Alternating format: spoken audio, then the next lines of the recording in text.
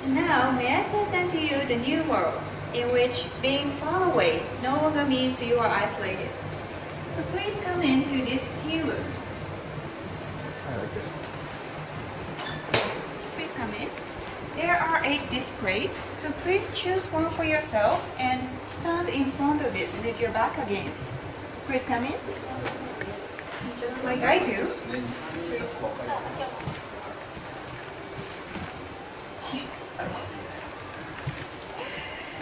Okay, thank you very much. So actually in this showroom, there's one more t-Room. From now on, I will connect two t-Rooms together, so please communicate with another attendant. Uh, hello, Ayano. Hello everyone, can you hear my voice? Unlike a regular video conference room, this room allows for communication in which people can share the same space with their counterpart, thus overcoming spatial temporal borders. Now I'm going to walk in the room, so please watch how I move. Excuse me, sir? Excuse me? Excuse me? Does it look like I'm walking behind you? Sir, as a greeting, may I shake your hand? Thank you very much. Does it look like we are shaking the hand to everybody else? Thank you. Thank you very much, sir.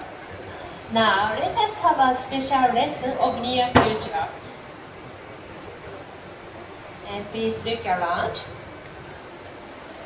This is the Iceland, a place very far from Japan.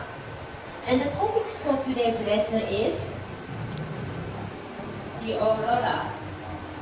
Have you ever seen aurora before? Take a second. In the t-Room, for example, we can link a Japanese school with a scientist far away to conduct a special lesson in natural science.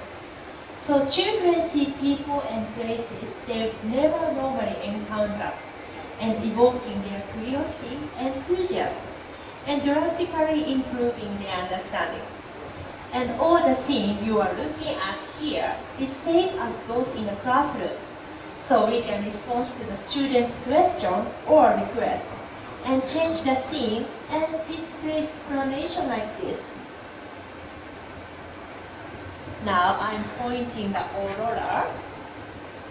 In the t-Room, we can share the same sense of position and direction, so we can have a stress-free lesson. And now, I want to show you another function of this t-Room.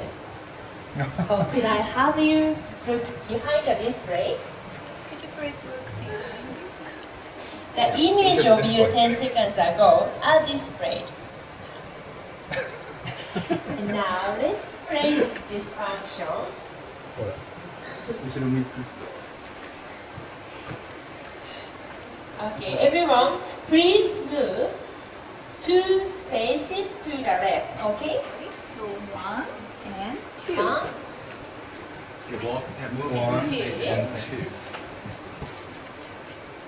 and if you look at direction you came from, the image of you chases after you moved.